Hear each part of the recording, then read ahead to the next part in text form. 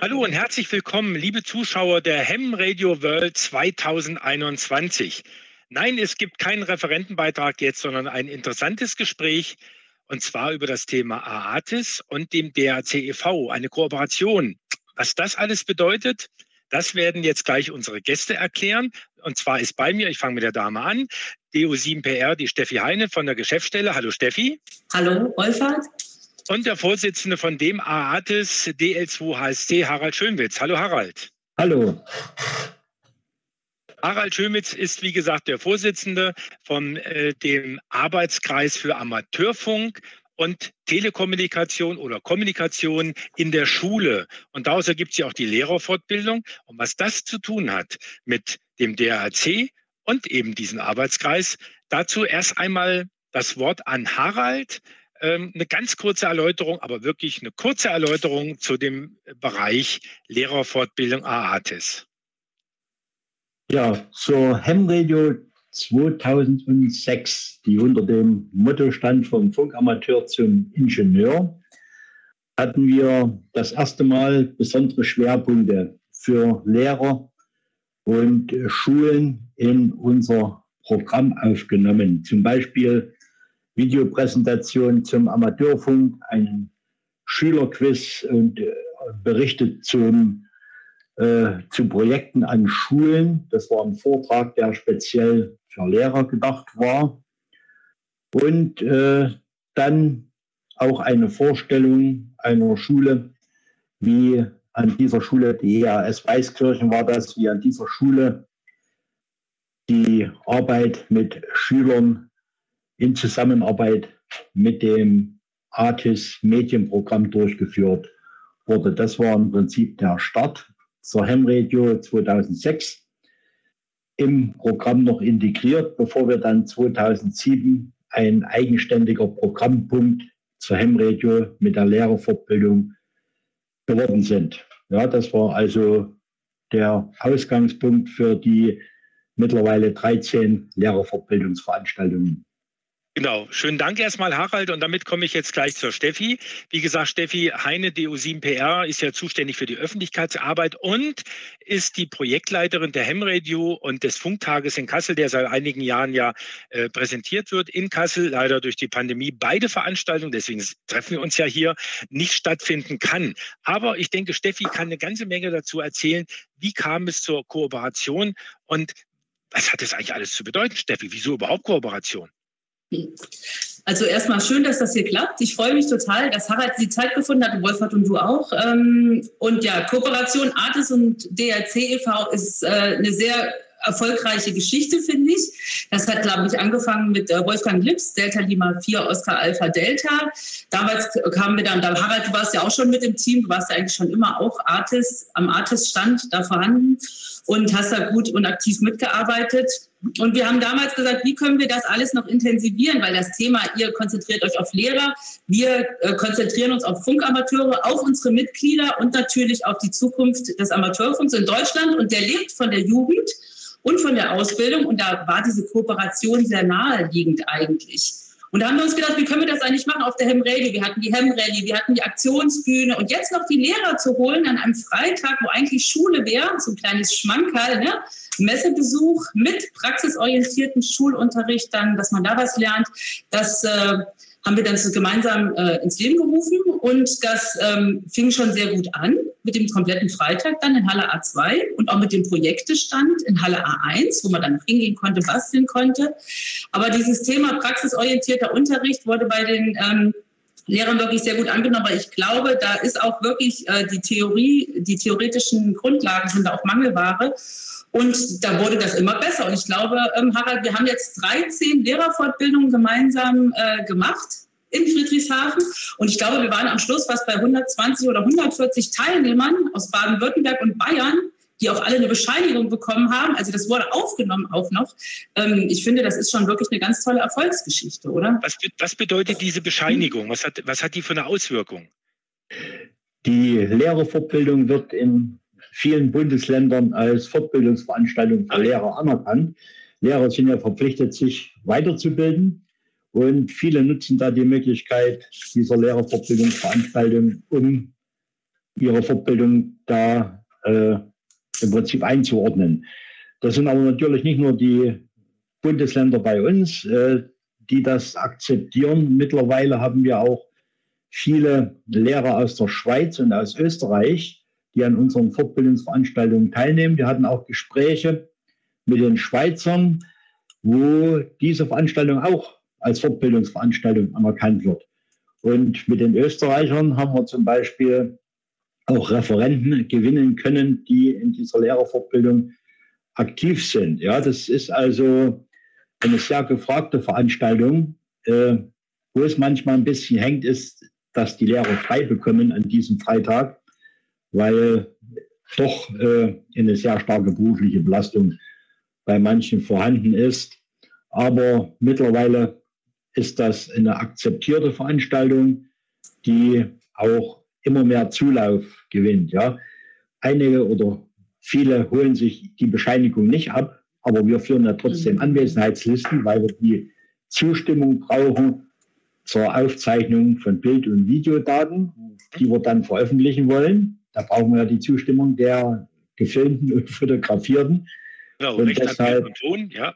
Genau, und deshalb haben wir auch einen Überblick ungefähr, oder was heißt ungefähr fast genau, wie viele Teilnehmer wir jährlich haben. Und die Teilnehmerzahl, die wächst also stetig, wobei natürlich 2019, die letzte, die stattgefunden hat, der absolute Rekord war mit 300 Teilnehmern dann am Schluss. Da war das Thema, glaube ich, äh, Konstanz und Veränderung. Ne? Und wir genau. dürfen auf gar keinen Fall dürfen wir den Roman vergessen, Harald. Der genau. Ist, hm? Der Professor Dr. Roman Dengler, der von Anfang an äh, die Sache didaktisch und pädagogisch betreut hat. Er ist also an der Pädagogischen Hochschule in Karlsruhe beschäftigt gewesen, mittlerweile auch im Ruhestand, ist aber trotzdem natürlich noch bei uns im Team integriert und wir arbeiten also eng zusammen, mhm. auch bei der Vorbereitung der diesjährigen äh, virtuellen Lehrerfortbildung haben wir da äh, vielfältige Absprachen und Besprechungen im Vorfeld gehabt. Und für nächstes Jahr äh, gibt es auch schon erste Ideen, was für Themen da angesprochen werden könnten. Ja. Also wir sind ein, ein kleiner Kreis, der die Sache da fest im Griff hat, sagen wir so.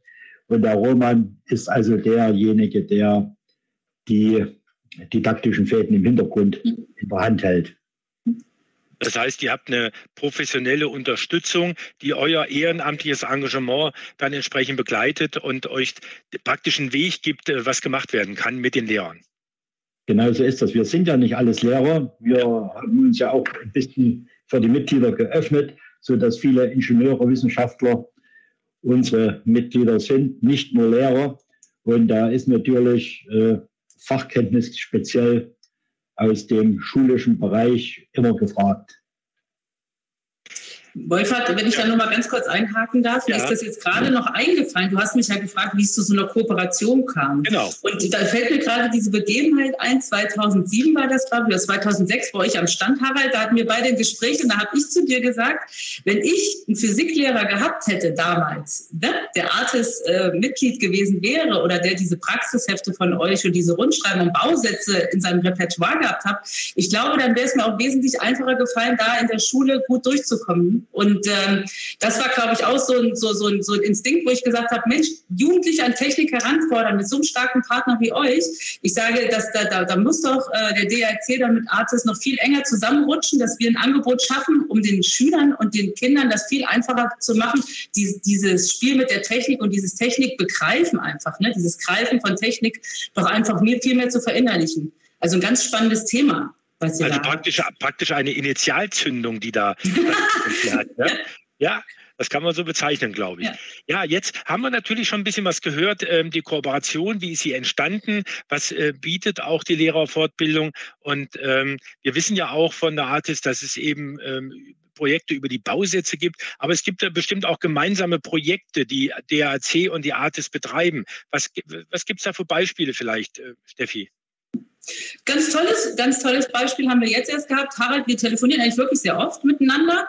Wir hatten jetzt ja gemeinsam das Q100 Starter-Set für elf Schulstationen. Das haben wir mit der AMSAT DL, ARTIS e.V. und DRC e.V. zusammen auf den Weg gebracht. Das äh, sind Sende- und Empfangsanlagen, die in die Schulen gehen, in die Schulstationen, wo dann Q100-Betrieb möglich ist. Weil wer das einmal erlebt hat, Alexander Gerst live zu hören oder auch mit der Antarktis zu sprechen, jetzt mit Theresa Thoma oder Felix Ries, der sieht einfach dieses Glitzern in den Augen und da haben dann die drei Vereine einfach gedacht, Mensch, da müssen wir zusammenarbeiten und müssen einfach was tun. Und das hat wirklich gut geklappt. Leider ist uns Corona dazwischen gekommen. Wir wollten eigentlich auch vor Ort äh, Besichtigungen ähm, machen und dann auch darüber berichten. Auch auf dem Artis-Bundeskongress war eine richtige Überraschungsübergabe geplant, wo dann äh, nicht nur die Sendeanlagen, sondern auch die Empfangsanlagen dann noch dazu übergeben werden sollten. Aber wie gesagt, Harald, ich glaube, das holen wir alles dann nach. Ne? Der Kongress steht ja bald an. Genau, die Einladungen müssten schon auf dem Weg sein an euch, dass ihr da kommen könnt. Wir hatten ja das Glück, im vergangenen Jahr zumindest für einen Tag in Goslar sein zu dürfen zum Bundeskongress. Und da war ja Theresa äh, auch anwesend. Sie ist ja ATIS-Mitglied.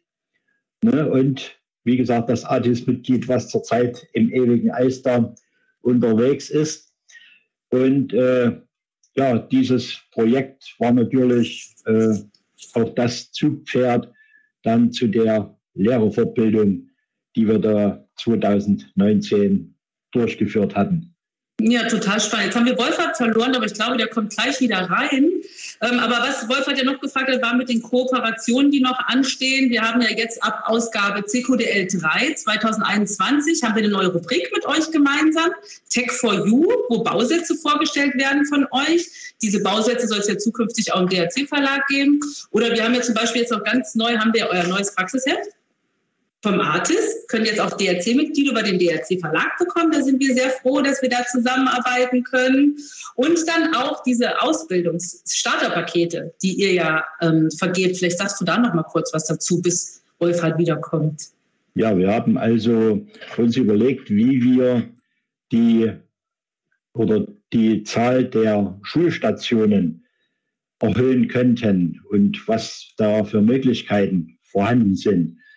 Wir haben festgestellt, dass einmal eine Schulstation davon abhängig ist, ob wir wirklich Lehrer an den Schulen haben, die äh, Amateurfunk begeistert sind und die das unterstützen. Das ist also ein entscheidender Punkt, dass wir da einen Fuß in der Tür haben in der Schule selbst.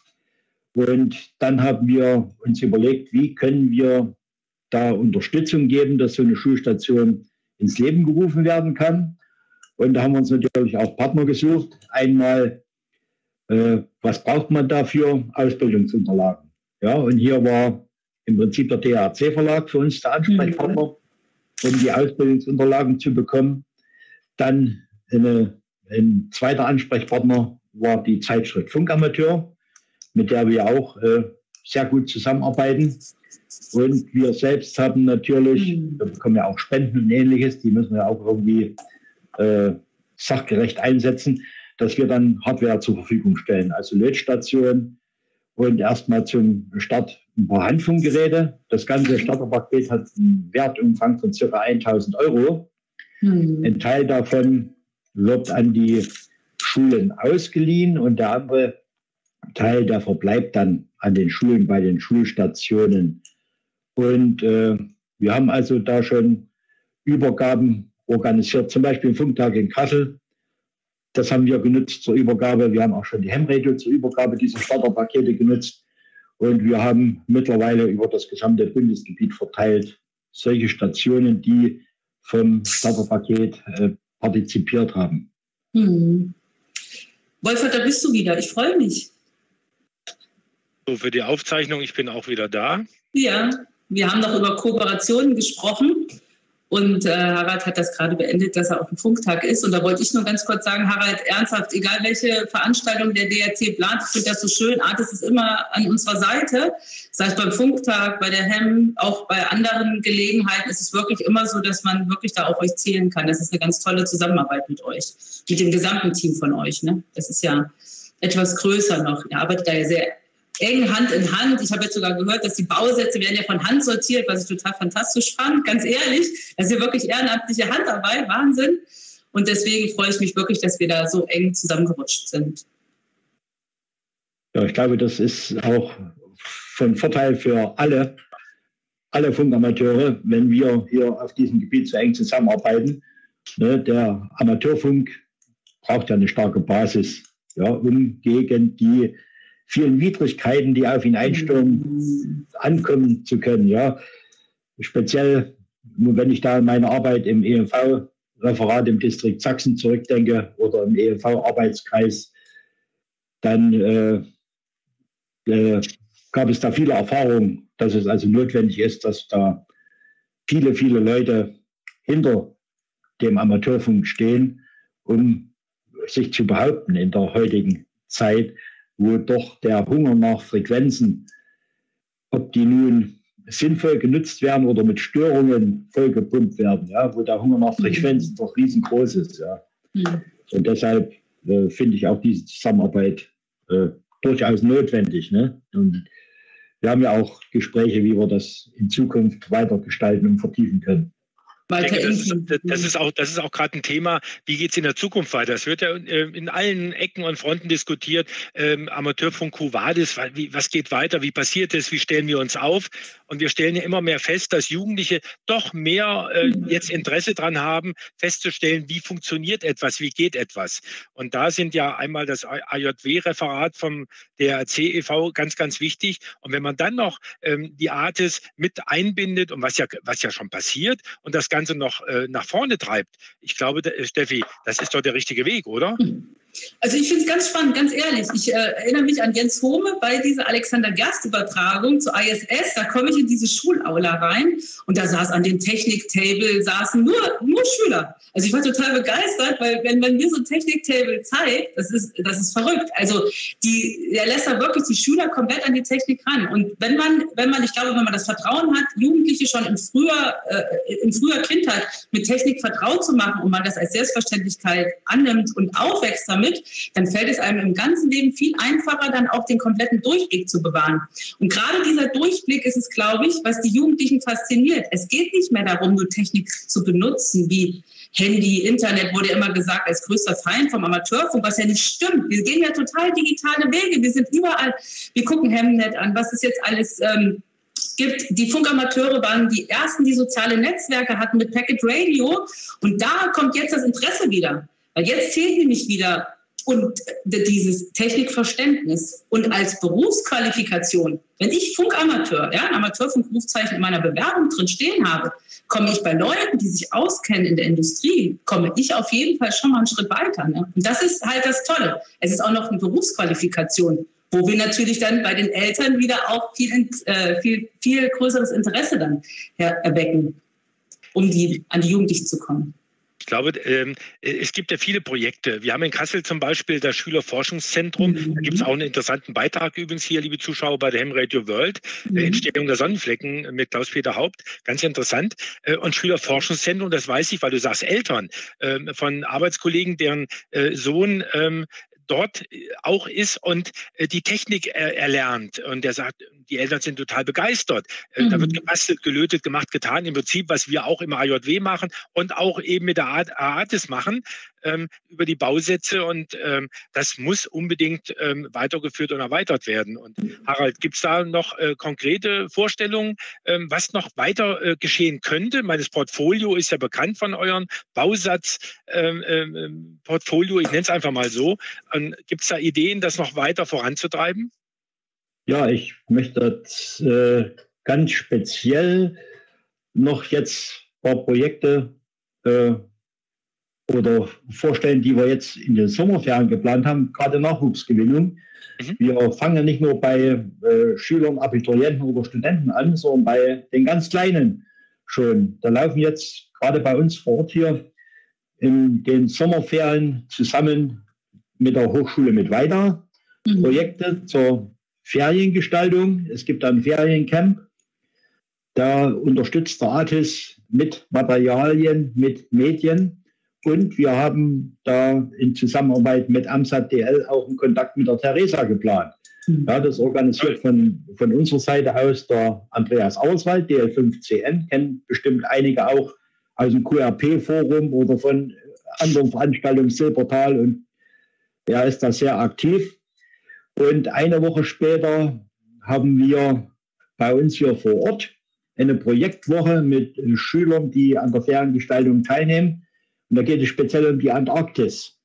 Ja, die, äh, und der Höhepunkt der ganzen Sache wird hier höchstwahrscheinlich auch ein Funkkontakt mit der Theresa sein.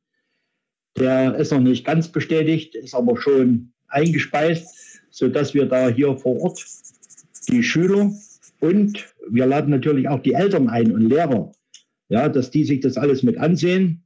Wir haben äh, dafür auch EU-Fördermittel für die Entwicklung des ländlichen Raums beantragt. Das hat jetzt zwar nicht direkt was mit Amateurfunk zu tun, aber die Schüler sollen ja auch äh, eine gewisse, äh, ja, wir haben einen gewissen Bildungsauftrag, muss ich mal so formulieren. Also Technik und, erfahren praktisch. Ja, genau so, ja. Und da werden wir zum Abschluss dann auch ein bisschen grillen. Geht ja mittlerweile wieder bei uns hier. Glücklicherweise bei uns. Und äh, da werden wir die ganze Sache dann auswerten.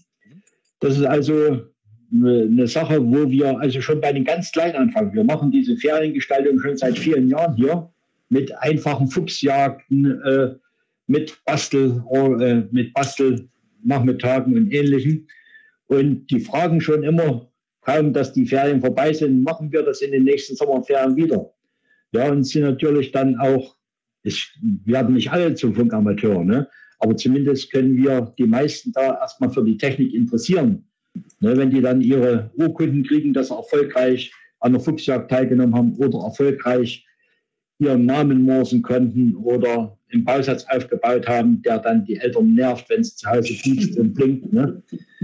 Das, äh Ganz kurz, Harald, sollte jemand von den Zuschauern dabei sein, der noch nicht so in dem Thema Amateurfunk drin ist, bei der Fuchsjagd werden keine echten Füchse erschossen. Das ist es nicht. Nein, nein, nein. Googeln Sie einfach mal unter Fuchsjagd Amateurfunk und dann gucken Sie mal, was das wirklich ist. Ja, wir machen ja die Fuchsjagd nicht nur äh, mit äh, Funkwellen, sondern mittlerweile auch äh, mit Ultraschall. Ja, das ist ein neues Projekt und das werden wir in Goslar im August. Steffi, ich hoffe, du kannst dir dann vor Ort ein Bild davon machen. Da werden sogenannte Ultraschallbarken, die also Fledermausrufe imitieren, im Wald versteckt und mit entsprechenden Ultraschallempfängern können die dann gesucht werden. Das Ganze hat aber auch einen anderen Hintergrund nämlich das Fledermaus-Monitoring.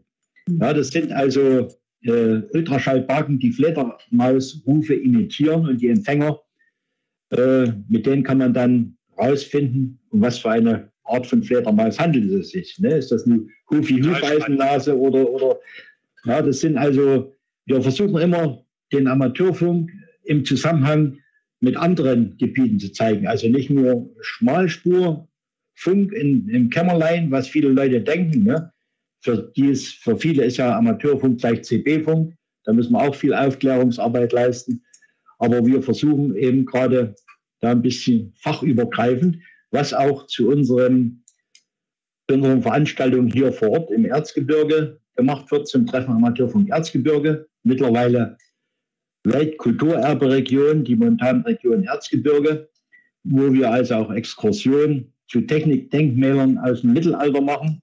Natürlich auch auf die andere Seite der Grenze rüber ins Böhmische. Äh, zur letzten Veranstaltung war zum Beispiel der Ronny vom Vorstand, vom DRC-Vorstand mit zu Gast. In den letzten Jahren hatten wir auch viele äh, Leute, äh, die da von irgendwelchen anderen Vereinen oder so zu uns kamen und sich dann Einblick verschafft haben, äh, was wir eigentlich machen. Zum Beispiel ein Staatssekretär aus dem sächsischen Innenministerium war unser Schirmherr. Dann äh, der Oliver Arment mhm. von ja, Aros Europa, der Chef, der äh, auch ATIS-Mitglied ist, er Mitglied im ATIS. Der war zu Gast mit dem Vortrag. Ja, und äh, dadurch, dass wir auch die Bürger hier einladen, bringen wir das alles ein bisschen in die Breite. Ne? Also wenn hier jemand Amateurfunk sagt bei uns in der Gegend, da wissen die schon ungefähr, ach, da müssen wir, wenn wir was genaueres wissen, will, den fragen oder wir schauen dort im Internet nach. Ne? Das ist also. Das ist, das ist der absolute Wahnsinn, muss ich mal sagen. Also wie ihr euch in die Breite aufgestellt habt, das ist unheimlich toll. Und wenn man sonst Erzgebirge hört, denkt man immer an wir schnitzen irgendwas Schönes, ganz tolle Sachen. Auch, auch natürlich. Und das wäre natürlich eine ganz irre Sache. Auf der einen Seite wird ein Fledermausdetektor gelötet und gleichzeitig machen wir noch ein Räuchermännchen. Ja, äh, das Räuchermännchen als Funkamateur gibt es ja mittlerweile auch. Ja, gibt ja. es auch. Ja. Deswegen habe ich die Überleitung auch gesucht. Ja. Was ich schön finde, wo ich dann nochmal einhaken darf, was ich halt toll finde, ist, glaube ich, dass dieser Facettenreichtum, der im Facettenreichtum, der im Amateurfunk abgebildet ist, wenn man den Kindern und Jugendlichen nahe bringt, dann wird es auch nie langweilig. Auch bei den Amateurfunk-AGs oder bei den Jugend, äh, bei den ähm, na, Jugendclubs sind es ja nicht. Bei den äh, Jugendgruppen, auch im DRC, ist es halt immer so, da kann man dann auch ruhig mal eine Bootsfahrt dazwischen machen, auch wenn dann manche sagen, was hat denn das mit Amateurfunk zu tun? Man muss die Jugendlichen nur halten. Aber gerade dieses Interesse ist es ja auch ähm, wach zu halten. Und da möchte ich noch mal ganz kurz auf die Kooperation auch von DRC und Jugendforscht noch mal hin äh, und auf die Kooperation zu diesen ganzen MINT-Projekten, wie wichtig das eigentlich ist. Und wenn man sieht, wie viele engagierte Funkamateure da eigentlich immer dann ihren Bereich planen, ist es wirklich ganz wichtig, dass das alles zusammengeführt wird und eigentlich im Großen und Ganzen betrachtet wird. Und da möchte ich ganz gerne auch nochmal darauf hinweisen, Harald, auf, unsere, auf unser neues Vorhaben, dass wir die Schulstationen ne, noch ein bisschen fördern wollen und denen dann wirklich ähm, eine Seite geben wollen im Internet, wo sie sich treffen können, verabreden können und erstmal auch komplett eine Auflistung geben, dass man sich da auch für äh, Funkverbindungen verabreden kann. Also von Schulstation zu Schulstation. Ne? Da sind wir eigentlich jetzt auch gerade noch mit dran. Genau, und äh, schön ist natürlich auch, wenn man die Funkstationen an den Schulen dann irgendwann mal im Äther hört. Mhm. Ja, ein, äh, eine Veranstaltung, die dazu animieren soll, ist zum Beispiel der Europatag der Schulstation am 5. Mai. Jährlich am 5.5. findet dieser Europatag statt. Äh, in den letzten beiden Jahren war es natürlich schwierig, aufgrund der Lage da ja. eine Schulstation zu animieren. Ich selbst bin auf meine eigene Clubstation gar nicht mehr reingekommen, weil ich nicht in die Schule rein durfte aufgrund mhm. der Lage hier. Aber hoffentlich wird es dann in den nächsten Jahren wieder besser. Und deshalb auch nochmal der Aufruf an alle, äh, die das im Sinne haben, so eine Schulstation zu gründen oder die eine schon haben. Nehmt mit uns Kontakt auf, dass wir einen Überblick haben, wo gibt es welche, wer braucht Hilfe, wen können wir unterstützen, an wen können wir uns, uns wenden wenn, wenn es irgendwas Neues für Schulstationen gibt. Ne? Und was vielleicht nicht so sehr bekannt ist, wir geben ja auch das Diplom aus, das Red Ink Award, also das ja. rote Tinte Diplom. Rote Tinte, ja, wird heute kaum noch einer kennen, aber wenn man früher zum Beispiel ein Diktat geschrieben hat, zu meiner Schulzeit so Anfang der 60er Jahre und man hat einen Fehler, dann machte der Lehrer mit roter Tinte ja ein Haken an den Fehler. Ja, deshalb Red Ink aber.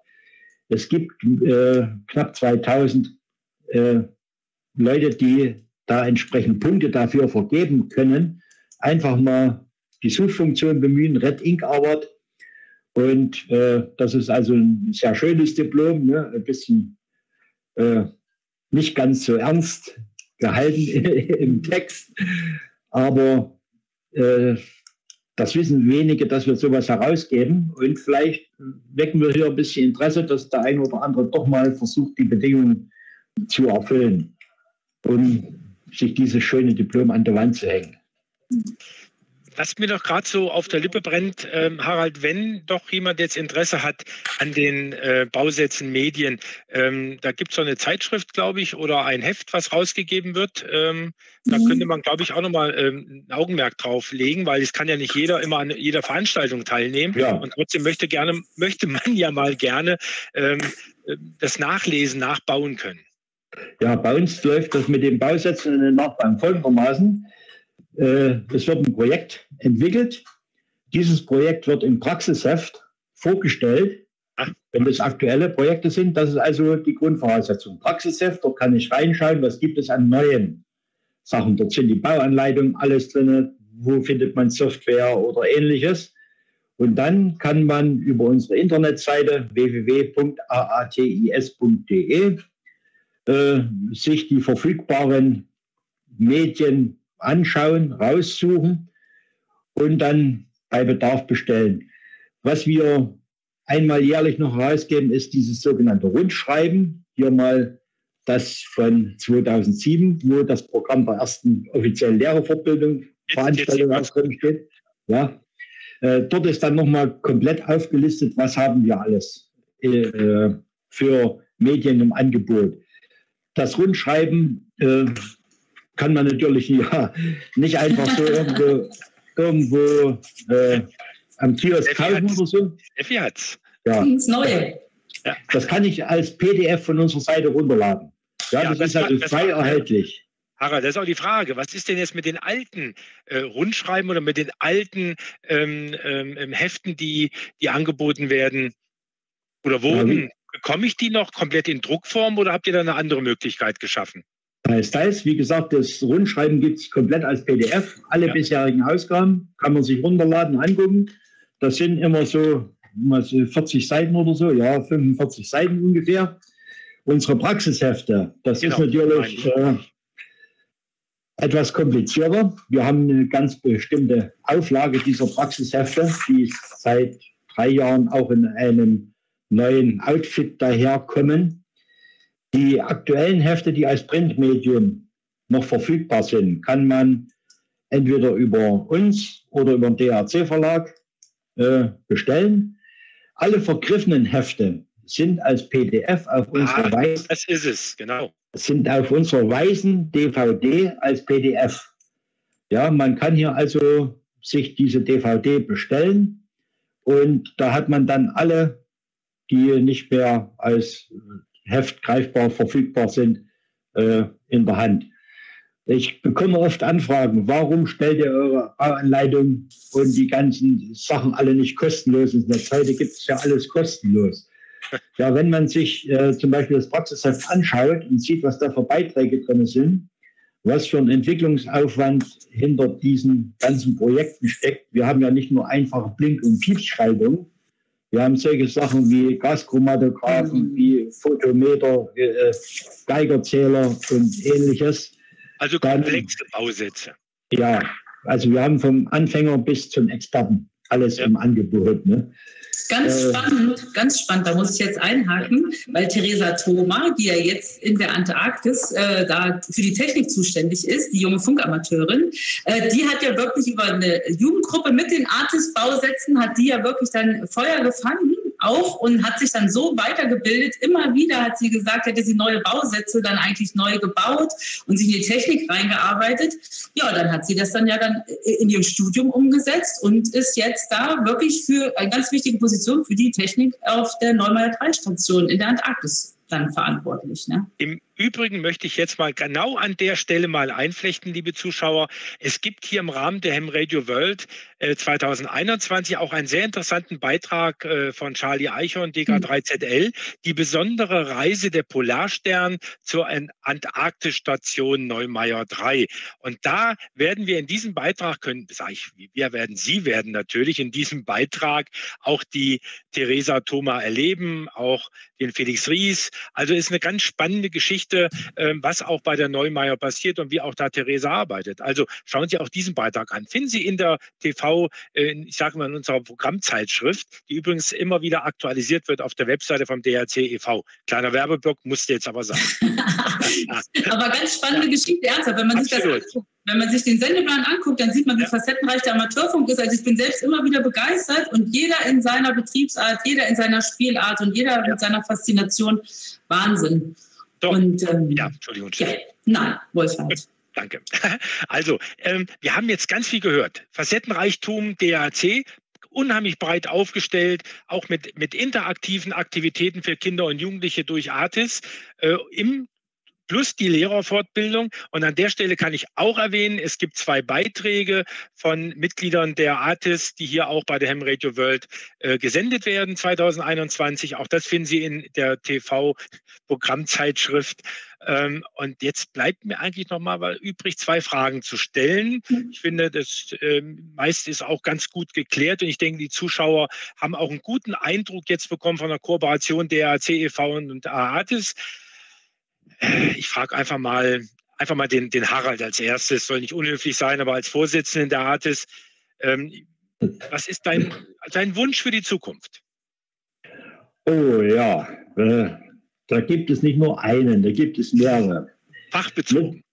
ja, fachbezogen. Ich beziehe es mal jetzt auf unseren Verein. Ja, genau.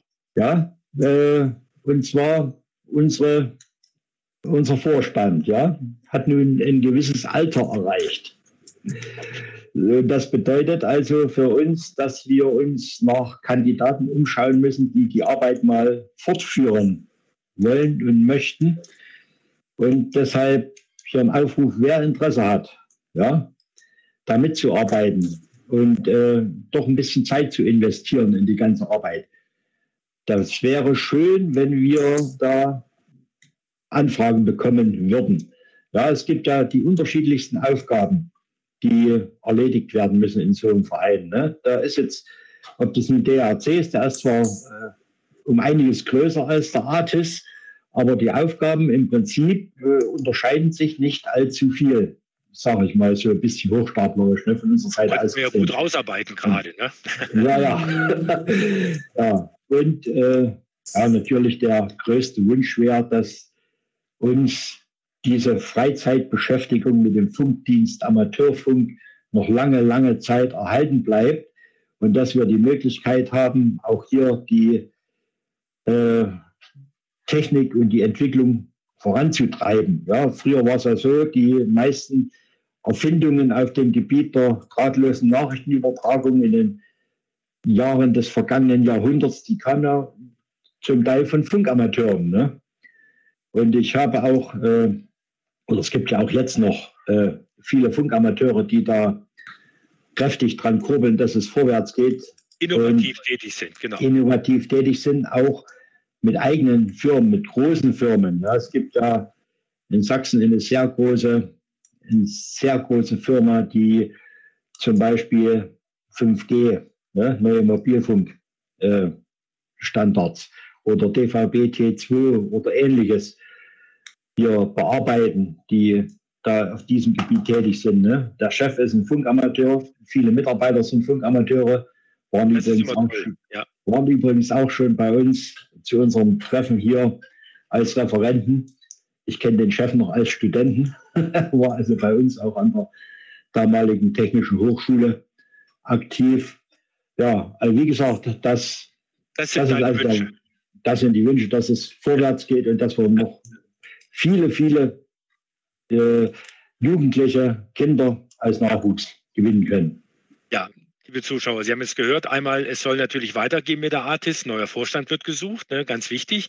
Es ist immer die demografische Entwicklung. Man kann nicht immer weitermachen. Irgendwann kommt das Alter, wo man auch sagt, jetzt ist mal gut, ne, und dann muss ein Nachfolger kommen. Das ist aber auch ganz normal. Und daher, wenn Sie Interesse haben, an die AATIS wenden und wenn Sie keinen Kontakt finden, aus welchen Gründen auch immer, einfach an den DRC wenden und er würde vermitteln. Kein Thema. Aber jetzt kommt natürlich noch die Steffi, die O7PR. Auch an dich die Frage, was wünschst du dir denn in diesem Bereich, über den wir gerade diskutiert haben, für die Zukunft? Also in erster Linie wünsche ich mir jetzt gerade, dass wir uns alle mal wiedersehen, uns alle mal wieder drücken können, face to face, dass Corona jetzt weiter so nach äh, die Zahlen nach unten gehen und dass wir wirklich Veranstaltungen wieder machen können und wieder aktiv werden können. Obwohl ganz ehrlich, die Funkamateure haben sich während Corona prima geschlagen, also die haben einfach Kontakt gehalten.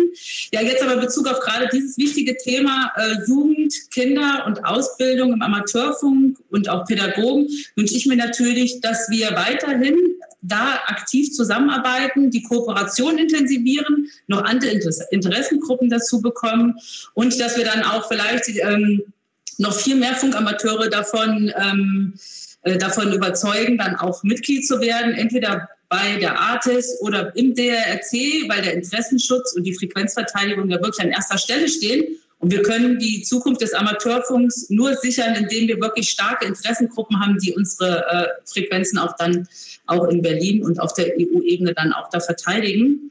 Und uns beiden Genau, die Lobbyarbeit. Und uns beiden wünsche ich natürlich ganz, ganz, ganz viele leuchtende Kinderaugen beim Löten der Bausätze. Ich mache das ja auch sehr gerne. Ja, und natürlich, dass wir Jugend forscht und diese ganzen MINT-Projekte weiter vorantreiben. Also ich meine, mein Wunschzettel ist riesengroß, ganz ehrlich. Aber ich habe wirklich auch, ich sehe sehr positiv in die Zukunft, Wolfert. Das ist, ähm, ich, wenn ich mir die Zahlen anschaue und sehe, was momentan Ehrenamtliche da vor Ort leisten und wie aktiv das überall in Deutschland ist und was sich da auch digital tut, ich habe momentan keine Sorge. Und ich glaube, auch der DRC-Vorstand hat ähm, im Bereich Jugendförderung einiges vor. Da wird man noch einiges hören. Es wird ja gerade auch ein, äh, ein Trailer, ein Jugendförder-Trailer gedreht, wo auch ähm, Schauspieler gesucht wurden oder dann Darsteller, auch im Bereich der Mitgliedschaft. Also da kann man, glaube ich, gespannt sein, was da kommt. Also von wegen, der Amateurfunk ist spröde, zurückhaltend, altmodisch, äh, historisch. Ganz im Gegenteil, es geht voran. Äh, moderne Techniken werden erschlossen und man holt die Jugend mehr noch ins Boot als bisher. Und ich glaube, das wird auch von der Jugend zurückgegeben. Man kriegt immer mehr mit, dass das Interesse sehr, sehr hoch ist. Haben wir auch gerade gehört im Kontext hier. Also, das war alles sehr, sehr positiv und gibt gute Gedanken für die Zukunft. Ja, liebe Zuschauer, das war ein, ähm, ja, ein kleiner Ausblick in die Zukunft, aber auch ein Ist-Zustand zur Kooperation. AATES, der Arbeitskreis für äh, Amateurfunk und Kommunikation in der Schule und dem DAC e.V. Ich hoffe, es hat Ihnen gefallen.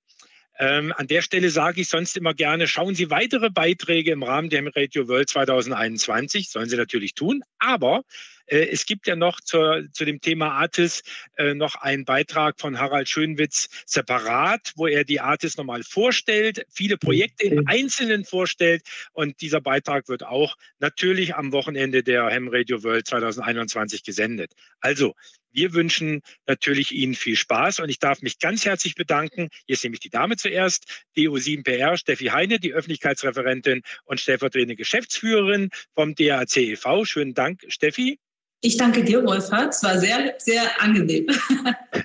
Und natürlich beim Harald zum zweiten Mal jetzt äh, hier auf unserer Bühne DL2 HSC. Harald Schönwitz, Vorsitzender der Artis. Herzlichen Dank dafür, dass du für diesen Plausch zur Verfügung gestanden hast. Ja, danke und ich hoffe doch, dass wir uns irgendwann in nächster Zeit persönlich wieder treffen können. Ja, in dem das Sinne 73. Ja. Ja, 73, 73, das ist der mhm. große Wunsch, liebe Zuschauer. Viel Spaß noch. Ihr Moderator Wolfhard Eidenmüller, DO5WE.